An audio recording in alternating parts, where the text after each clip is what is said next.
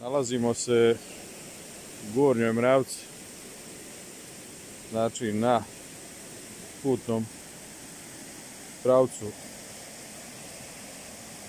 Prnjavor, znači Gornja Mravca u Crvenoj rijeci gdje rijeka izlila i prijeti da odnese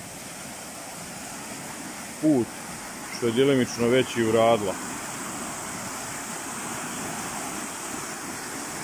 Ispostavilo se da su ovi propusti